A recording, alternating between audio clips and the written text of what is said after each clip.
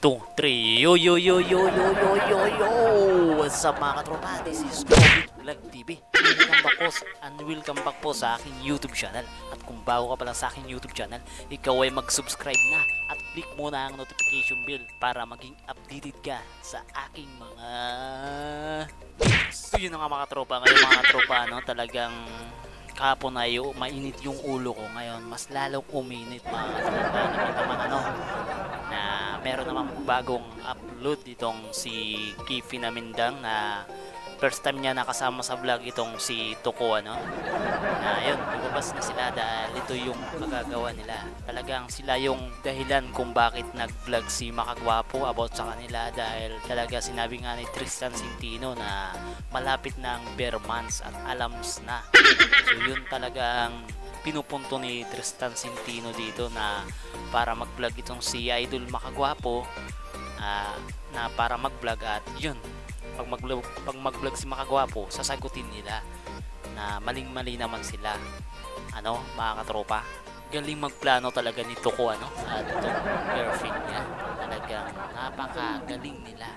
At pinapalabas pa nila ngayon na si Makagwapo ang Crispam ang nagpaparinig palagi na sila daw ay tumatahimik na na which is naman na ilang vlog ni Makagwapo na walang walang ginagawang patama sa kanila pero sila lahat ng mga videos nila meron kaugnayan merong connect doon kay Makagwapo gets nyo ba yun? alam niyo mga katropa ito tuko na to no? itong yung girlfriend niya ngayon ano mahilig mag caption caption alam niyo na yun? Parang wala na. Para wala ng gulong-gulo. Kasi nagkakaganito lang dahil din sa inyo. Hindi kayo matahimik. At isa pa aminin nyo na lang ikaw babae na hindi ka pa rin makamove on. Halata kasi sa mukha mo na talagang nasasaktan ka ba mga katropa. Hindi bulag yung mga viewers. Alam nila kung sino talaga yung nagsasabi ng totoo.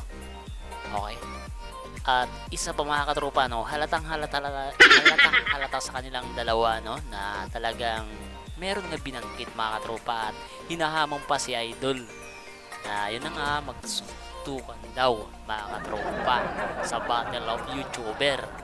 So, gets nyo ba yun? Mga viewers natin dyan.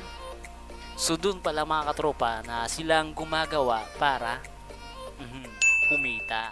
Kasi nga, hindi sila sumisikat kasi alam nila sa Battle of YouTuber sa Sabong International ay malaki ang kinikita like kay Makagwapo.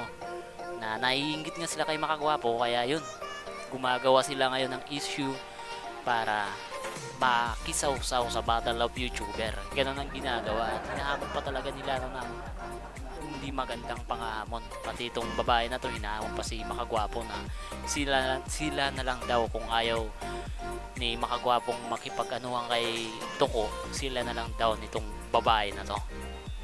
Halatang halata na po sa inyo, eh, nababasa na po. Okay.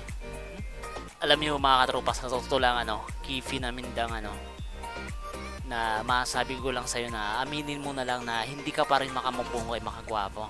At sinasabi mo pa nga na kung gusto daw makipagkulab ni makagwapo sa'yo, mga katropa, hindi ko talaga maisip ano, manahimik na po kayo. Okay. Ngayon lang to eh, nung nireveal lang ni Makagwapo na ikakasal na sila. Yun.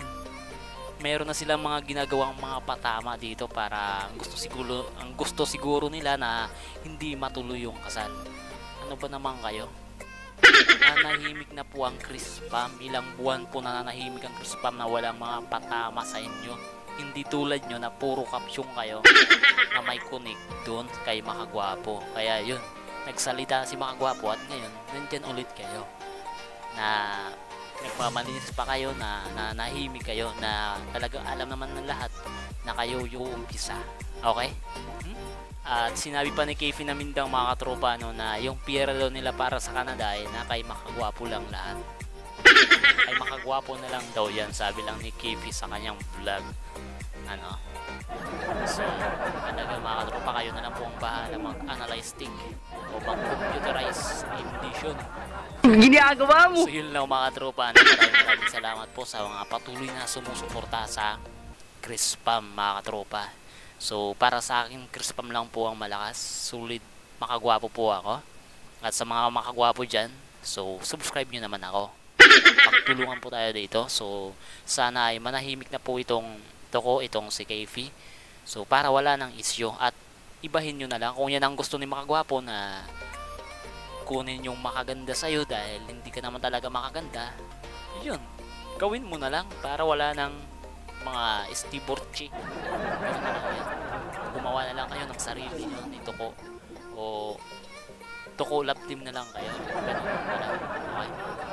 So yun lang mga tropa. Maraming maraming salamat po at ingat po lagi kayo and God bless po sa inyong lahat. Thank you so much. Peace out. Subscribe.